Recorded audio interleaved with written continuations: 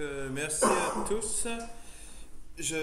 Donc, deux, deux parties aujourd'hui. Donc, les points d'amélioration qu'on peut faire sur les quatre containers, donc les postfix, euh, le euh, postfix admin, le MySQL, puis l'autre, le Dovecoat. Donc, qu'est-ce qu'on peut faire pour améliorer les, les, points qu'il faudrait encore toucher? Parce que bien ça marche bien. On a vu les quatre containers, mais il y a quelques points qu'il faudrait travailler pour que ça soit un petit peu mieux. Donc, euh, c'est un peu ce qu'on va voir. Euh, déjà, la mise en place du SSL, euh, je suis un petit peu.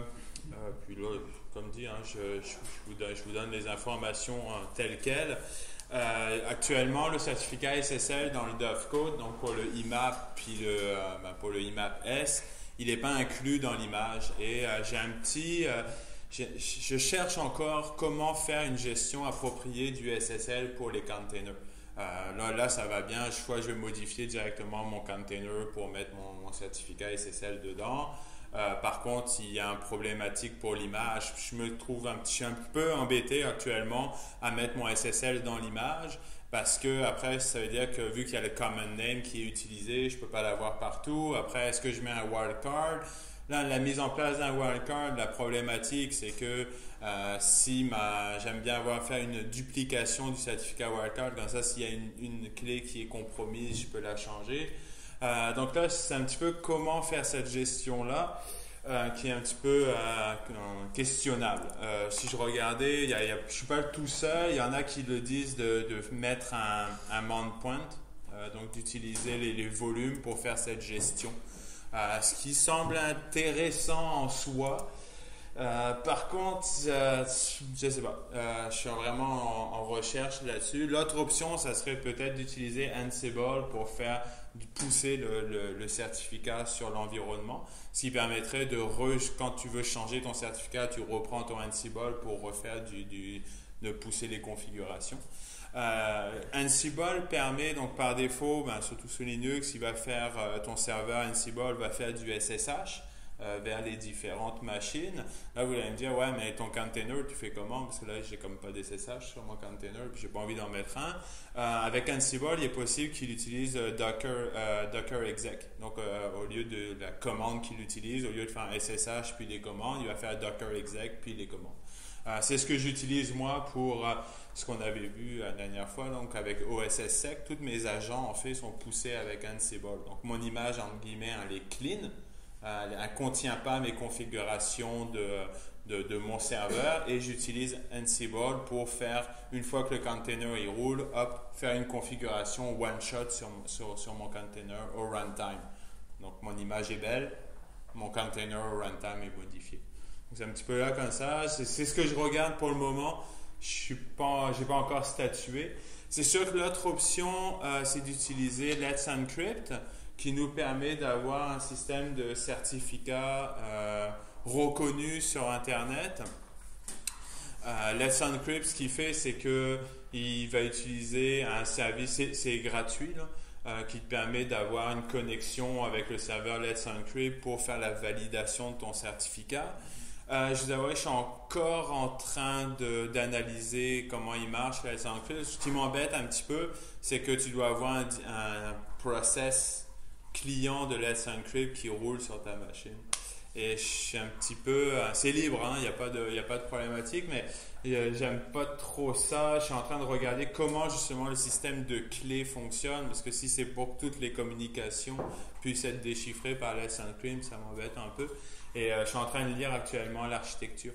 Par contre, ce que j'ai vu de Let's Encrypt, c'est que ça ne permet de chiffrer que du HTTPS. Donc, je suis pas plus avancé avec mon problème de l'IMAP S, euh, avec le protocole qu'il utilise, Encrypt. Donc, c'est encore un work in progress là-dessus, pour, pour ma part. Si vous avez des inputs, je suis preneur, mais je, cherche. C'est vraiment une question de workflow parce que la mise en place en, tant que telle n'est pas compliquée, mais c'est comment la structurer pour, euh, pour que tu puisses mettre à jour euh, facilement. Donc, euh, c'est un petit peu ça. Une des problématiques qu'on a actuellement dans la configuration que j'ai fait, c'est la validation des spams. Donc, on n'avait aucun système d'anti-spam qui a été mis en place. une des possibilités que vous pourriez faire, c'est d'utiliser, mettons, un compte Gmail et que le compte Gmail forward tous les emails à votre, à votre nom de domaine. Donc comme ça, Gmail fait tout le processing d'anti-spam avant que ça arrive chez vous. Euh, donc ça, ça peut être une méthode. Donc vous publiez uniquement le compte Gmail, mais au moins vous avez votre compte. Bon, bien entendu, comme je dis, euh, ils vont pouvoir prendre une copie en passant la NSL, juste, euh, juste, pour dire. si vous voulez avoir une solution interne, vous pouvez utiliser, moi j'ai beaucoup utilisé Amavis NG. Euh, pour faire le système d'anti-spam, antivirus. En fait, lui, c'est un, c'est un agrégateur. Là, il va faire toute la gestion. En ce moment, j'utilise euh, Fuglu. Euh, je suis en test, ça marche très bien. Je suis bien content. et bon, ben, Spam Assassin en tant que tel, tout seul pour faire le traitement. juste pour donner une, vue d'ensemble pour le mécanisme, si on reprend ce qu'on a mis. Euh, ok, donc euh, j'ai le email qui rentre ici, donc dans le spam D. Il fait bien entendu le cleanup. Il passe dans le système de queue, la gestion de la queue. Et là, au lieu de l'envoyer localement, donc ça c'était le path qu'on prenait, il l'envoie à Amavis qui lui va faire le système d'antivirus avec Clamav. Il va le transmettre à Spam Assassin. vous pouvez avoir une BD ou non, là, ça dépend et après il va retransmettre au SMTP donc sur le port 10.0.25 euh, et après il va repasser ici. Donc euh, c'est comme ça qu'on fait la gestion de l'anti-spam. Donc tu as un processus complètement externe qui écoute sur un autre port. Donc le port ici de Amavis, par défaut là c'est 10.0.24. Donc euh, tous les emails transigent par là. Tu peux mettre des whitelists pour pas qu'il y aille bien entendu. Euh, mais ça, ça, te permet de faire l'ensemble du système de filtrage et qui te permet encore une fois d'avoir une indépendance complète entre ton postfix et tes systèmes d'anti-spam. À ma c'est très très documenté. Fuglu un peu moins, euh, c'est un peu plus jeune comme, euh, comme service. Une autre représentation, le email il rentre par le postfix, il rentre dans Amavis, dans Clamav, hop, il revient, puis il retourne dans postfix pour faire la livraison encore une fois, c'est vraiment pour avoir. C'est exactement le même processus que quand il l'envoie à Dovecot. C'est juste un filtre avant le Dovecot.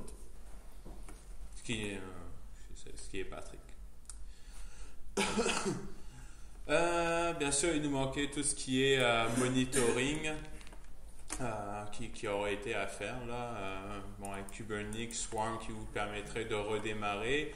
Euh, comme j'avais fait mention, euh, le problème c'est que j'avais utilisé un TERL-F pour le HTTPD euh, à cause du système avec lui je voulais utiliser curl pour remplir le formulaire. Ben, si j'avais mis un système de monitoring à la Kubernetes, mon service Apache peut tomber et Kubernetes ne va pas me le redémarrer parce qu'il n'a pas vu que c'est tombé. Donc ça serait des points vraiment... Ça c'est un, gros point d'amélioration qui serait à faire. Euh, ouais, je le ferai pas finalement, mais euh, ce qui serait intéressant de voir, c'est si vous vouliez changer un des containers, mettons, si vous prendre une autre version de MySQL, je pense que j'avais pris 5.7 là, ou je sais plus, là, peut essayer celle c'est MySQL 8, donc ce serait un container à changer qui serait intéressant. Et ben là, il y en a qui l'ont déjà fait, que je l'avais parlé, mais une suggestion qui pourrait être intéressante d'exercice, ça serait de euh, rajouter un cinquième container pour un webmail, euh, RunCube ou SquareL. SquareL, il est moche, mais il marche bien. RunCube est un peu plus beau. Donc, euh, Des questions? Je vais arrêter cette vidéo.